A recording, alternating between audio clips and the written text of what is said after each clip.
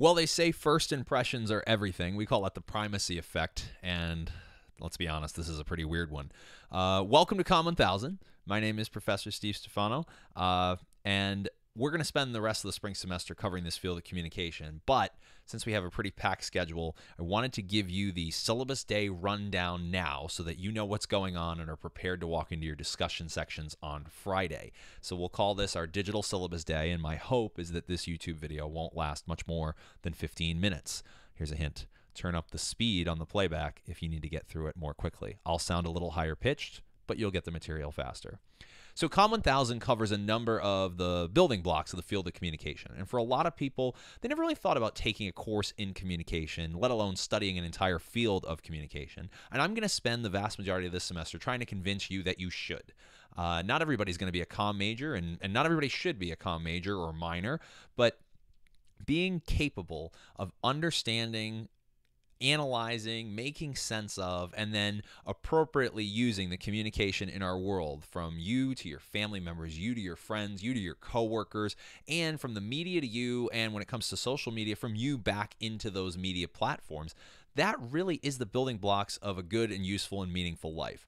If you're looking in a company, uh, the person who is good at their job and fairly capable of communicating will usually get passed over by the person who is good at their job and excellent at communicating. And that alone is a reason to study this a little bit more deeply. Plus, we all have complicated relationships, we all have complicated life stories, we all have drama. And understanding how those things come about and the different theories and, and frameworks that we use to make sense of them and improve our interactions going forward can really improve our lives. So, we're going to focus on a lot of that stuff. And towards the end, we'll put a particular emphasis on technology and media in today's world and trying to make you a better professional communicator, which should give you some skills that'll help you in whatever your field. I don't care if you're from STEM, I don't care if you're from the creative arts, whether you're from journalism, business, you name it. I think this course has something to offer you, and I will spend the next 14 weeks of my life trying to convince you of that through our lectures and our activities and assignments. So, who am I? This picture was taken in 2006 when I got here, and I immediately broke the rules and stood on the seal. Uh, so, like I said, my name is Steve Stifano. I was a master's student. I got into the master's program here in the Department of Communication at the University of Connecticut back when in 2006. I was 22 years old at the time, uh, and the world was my oyster all the way down to those horrible flip flops. Once that uh, process happened. I really did enjoy doing the master's degree in communication and learning more about the field. Uh, I then decided I wanted to stick with it. So I got my PhD here at UConn. Uh, and then I went out on the job market to find a job, and I got a job at my alma mater, the University of Rhode Island. So it was a weird experience for me because I went back to the place where I got my bachelor's degree and was now a college professor. And I was only about 27 at the time. So it was really weird to talk to students who were taking the courses with the instructors that I had taken five years before. Then a few years went by, and an opportunity arose to come over to the University of Connecticut and take over our research methods program. Uh, which is a required course in the department. And I did that, but about halfway through my first semester of doing that, uh, we lost the instructor who was teaching Com 1000 at the time. And myself and a colleague of mine were asked to fill in. And then in the following spring semester, I was basically told, hey, this is your course now. Uh, so that's a big part of the work I do here uh, is teaching this introductory communication course and keeping everything running with it. I also run our department's production sequence program, uh, which is something where we work on multimedia creation, filmmaking, documentary, narrative films, etc. And I do that in large part because I'm also an independent filmmaker. I've worked on three different feature-length films uh, of my own, uh, the most recent of which was actually part of my dissertation project to get my PhD. Uh, beyond that, I'm a huge sports fan and a huge football fan. Uh, I love the creative arts. I love music uh, you name it, etc. I also try to keep up on my pop culture, so I expect you to tell me if my references are outdated or ridiculous.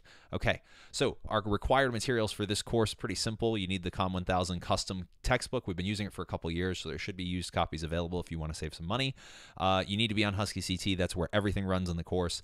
I need you to communicate with your teaching assistant and maybe eventually with myself through your UConn email address and I need you to have a number two pencil on exam days because we do use Scantron. There are over 700 students in this course across two lecture sections, so we try our best to keep everything official. I want to warn you now, a lot of the policies and procedures that we have are because there are so many students and we're trying to keep things straight for everybody.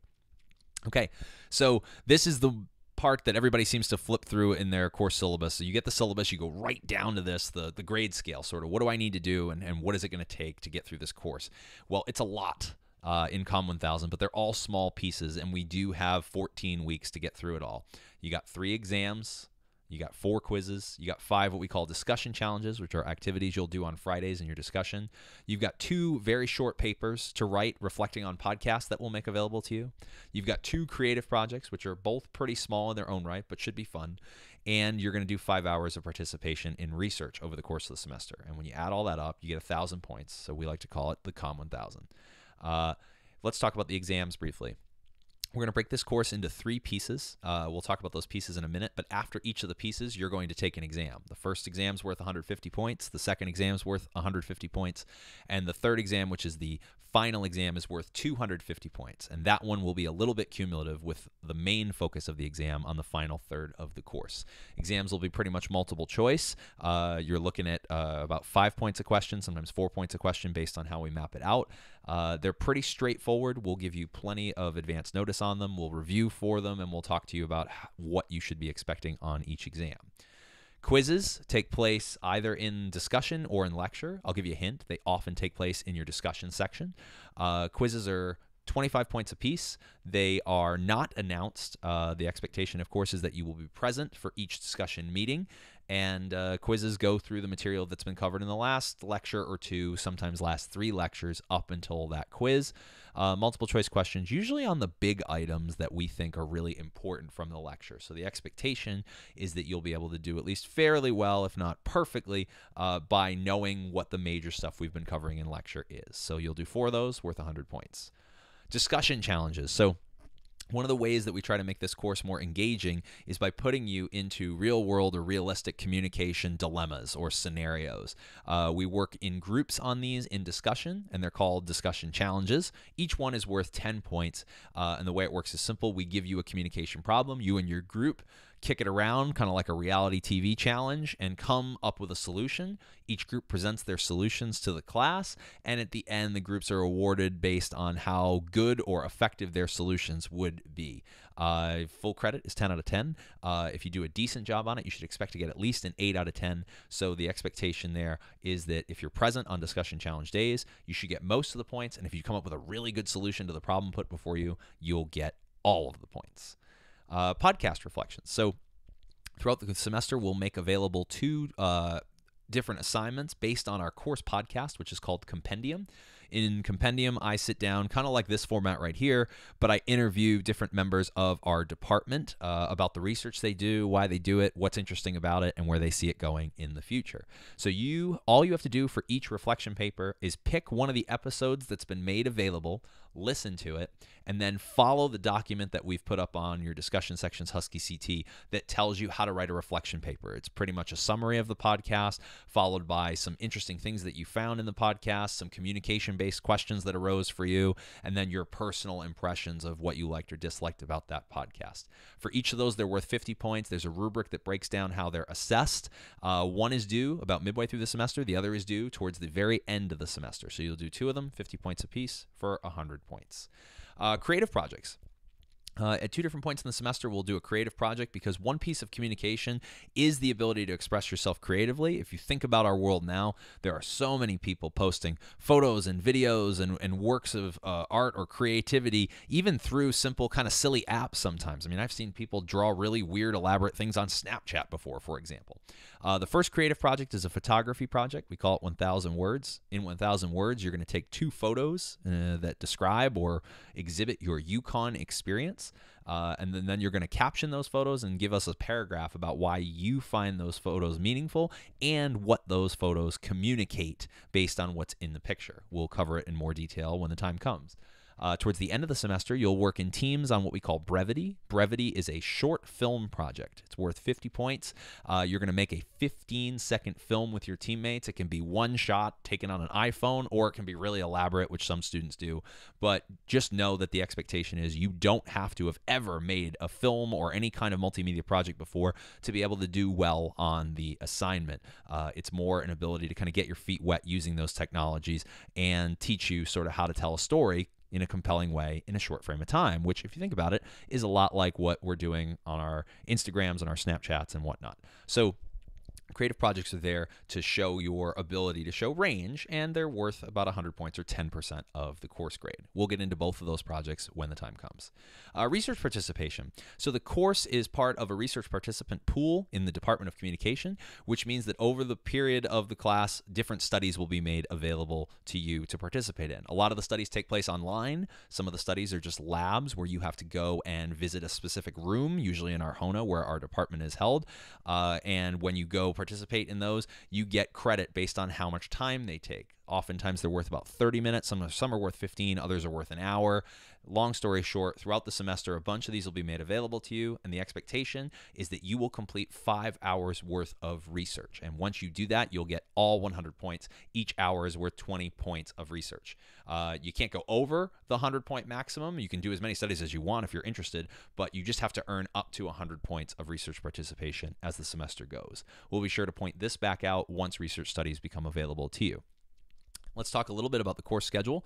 As I mentioned before, three parts to the course schedule. The first part is the foundations of communication. We're going to talk about all the basic nuts and bolts of how we study communication and why we study it in the ways that we do. And we're going to talk about some of the key pieces of how humans communicate with each other and how those key pieces come from, in some places, our upbringing, in other places, our culture, and in other circumstances, even the media around us. In part two, we'll talk about interpersonal communication, the complex and sometimes stressful and anxiety inducing interactions we have with one another. This can be our friendships, our family relationships, our romantic relationships, which we spend a decent amount of time on, uh, our working groups, our dealing with conflict, you name it. Uh, and then in part three, we'll broaden things a little bit and look at the influence of media and mass communication on us as a society and us as individuals. Uh, that part of the course, we get a lot more technical. We start talking about things like mass communication, mass media, uh, the effects of, say, video game violence, social media, etc. And all of these really do a solid job summarizing the field of communication. Uh, and we'll get into that a bit more as the time approaches. Uh, as far as the course goes, some nuts and bolts about how the policies work. Those are my office hours you see there. They're also listed in the syllabus. Uh, they're all by appointment because with 700 students, it's really hard for me to keep track of people stopping in, and it often creates a bad situation if we don't keep appointments because there's a huge line out the door and we can't get to everybody. Uh, as far as email policies, uh, I want to make this clear. Your teaching assistant is your number one resource in this course. And the reason for that is because the way we run the course, your TA on Fridays is also the person that's going to do all the grading of your assignments and your work. They're going to be the one to interact with you and help you deal with problems and sort through things. Uh, I give them as much control over their grading and work as possible. And the expectation is then they know you. I've got 700 students in the course. And while I would love to sit down and talk to each one of you, it's just not realistically possible. And we can blame the university structure for that, but frankly, it is what it is.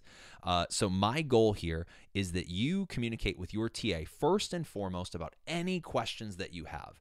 Uh, the TAs talk to me all the time. They're in touch with me on a regular basis. And anytime they can't answer your question, they usually come to me and say, Steve, what do you think about this? And then I give them some guidance or I reach out to you directly. What that means is if you're going to email with questions or comments or curiosities related to assignments or work or something being late or you name it, the only emails that you should send to me are ones where you've already dealt with something with your TA and you don't really like what they have to say or you don't feel like you got an adequate answer. And then you can schedule an appointment to sit down with me and we can go ahead and talk about it further. That's also one of the ways in which we dispute grades if you're frustrated with a grade that you get on an assignment. I want to make clear if you want to talk to me about the field or you've got a general question or something that you think would stand out in lecture or whatnot, feel free to send that my way. I'm not saying I don't want to talk to you. I do.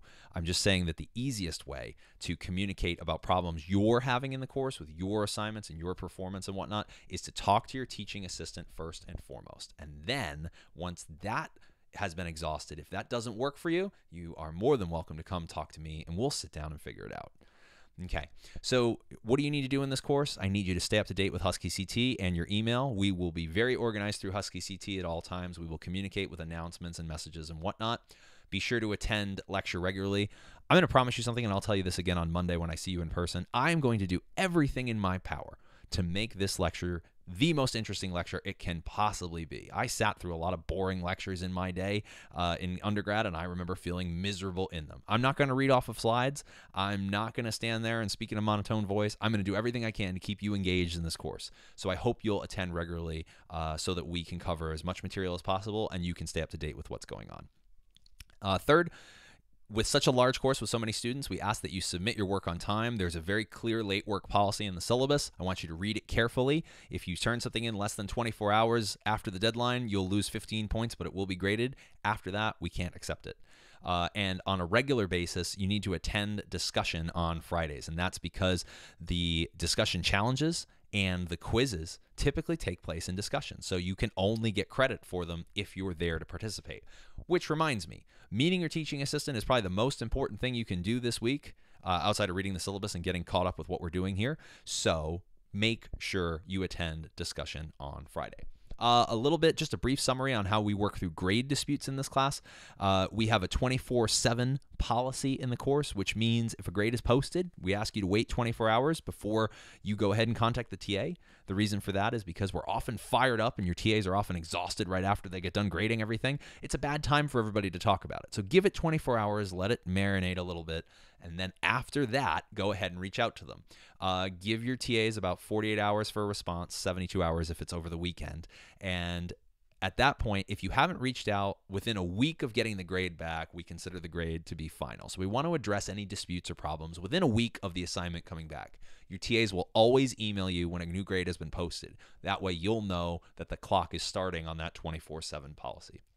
Um, we don't consider grade disputes at the end of the semester, and we don't think it's fair for students to come back at the end and beg for additional points that they didn't earn. It's really unfair to classmates. So we'll remind you about that at the end of the semester, but I really have to insist on this because the course is so large and, and with so many moving parts.